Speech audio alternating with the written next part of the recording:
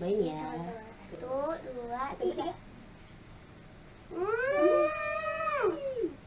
Enak banget teman-teman. kalian bisa cobain ya hmm. harus bikin pokoknya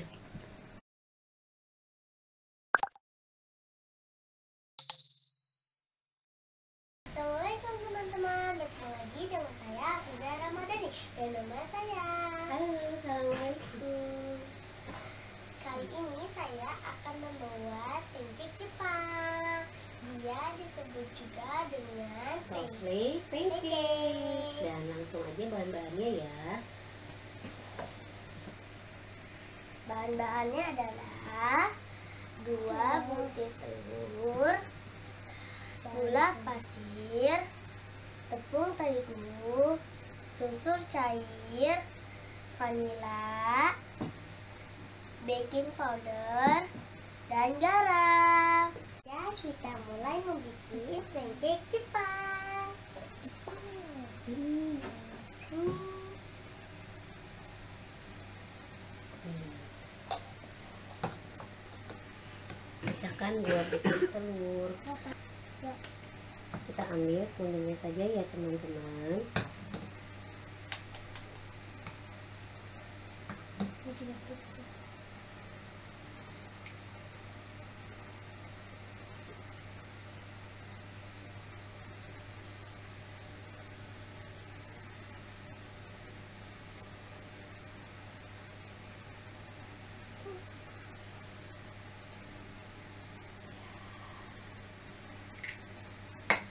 Lagi.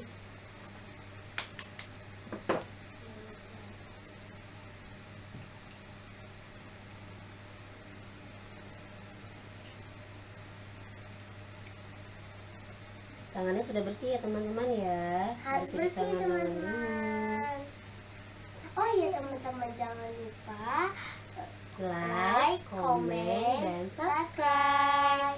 dihitung sampai eh, lima ya teman-teman.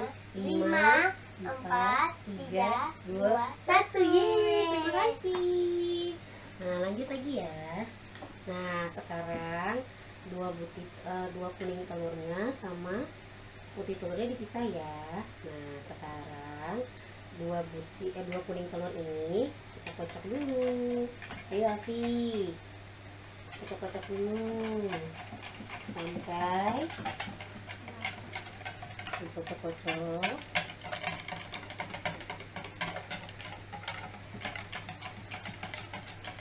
Nah setelah dikocok sampai agak terus kocok lagi.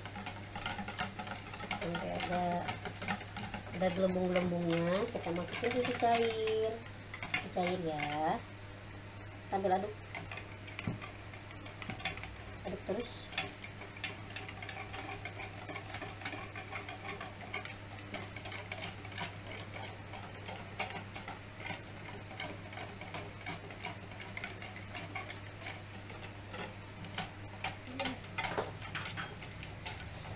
terus dikasih vanili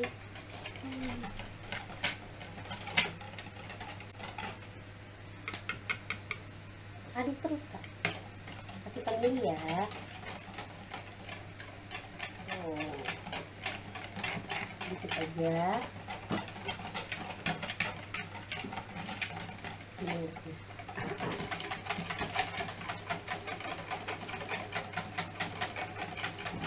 sudah mulai ada berbusa. Kita masukkan terigu kita ayak dulu.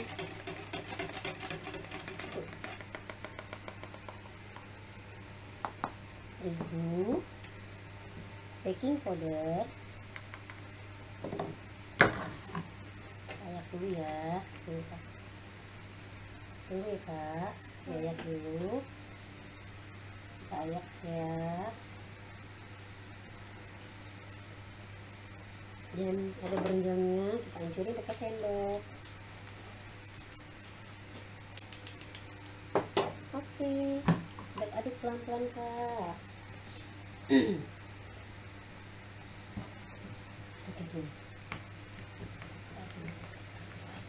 Teman-teman. Nah sekarang kita taruh dulu kita kita kocok putih telurnya. Berserta gula pasir. Oke teman-teman kita kocok dulu ya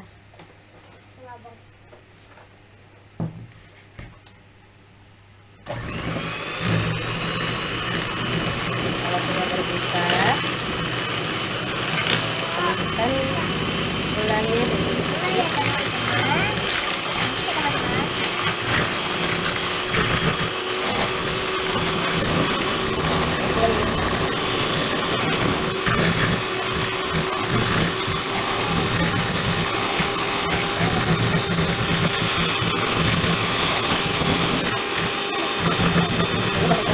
Oke.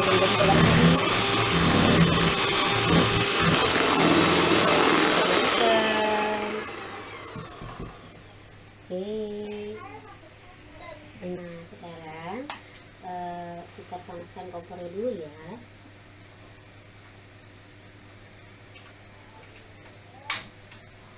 Dengan api yang sangat kecil. Ini dan yang putihnya ya teman-teman. Kita campurin adonan ini. Setengah kasih ke Kuning apa ke adonan yang satunya. satunya ya. Aduk-aduk.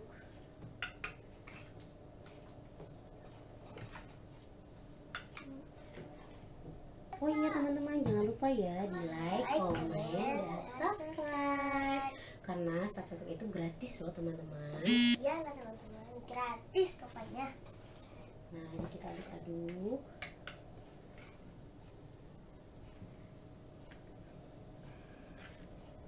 Nah sekarang kalau udah kecampur semua adonannya seperti ini ya. Nah sekarang sudah panas sama margarin ya biar nggak lengket. Oke setelah dioles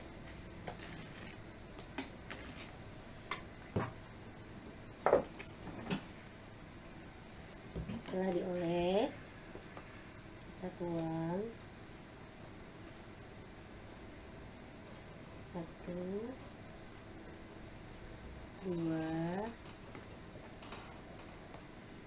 tiga lalu satu Kita bikin dua ya teman-teman. dua Tiga. Tiga sendok ya teman-teman. Dan sekarang kita tutup. kita buka lagi tutupnya kita tambahin lagi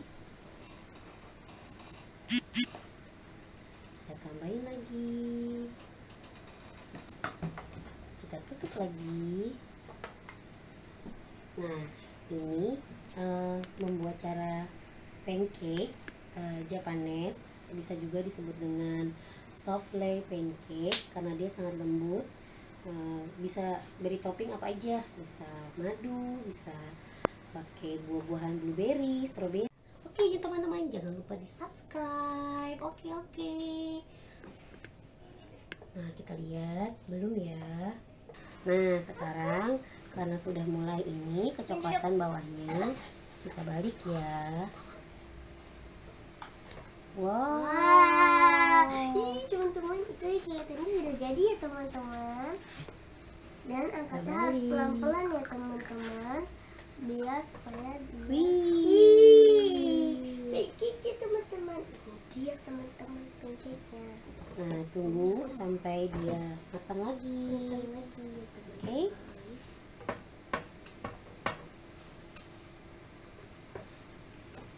Teman, ini memasaknya harus pengawasan orang tua ya teman-teman. Iya. Jadi Jadi kita angkat ya teman-teman. kita angkat ya.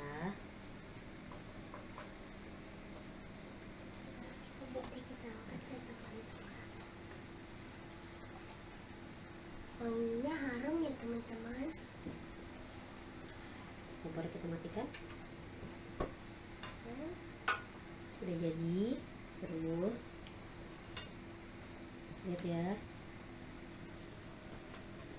Tuh.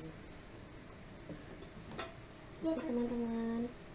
Nah sekarang kita taburin gula halus.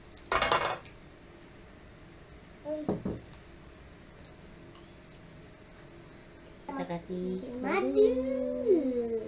biar lebih enak kita teman-teman kita pakein madu ya boleh pakai blueberry juga boleh ya teman-teman ditambahin blueberry atau strawberry juga boleh teman-teman nah udah jadi Nih, udah jadi teman-teman ini dia bikinan mama Afi dan Mama Afi.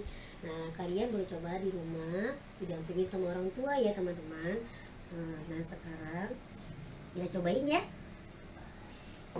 Ayo. Cobain dulu.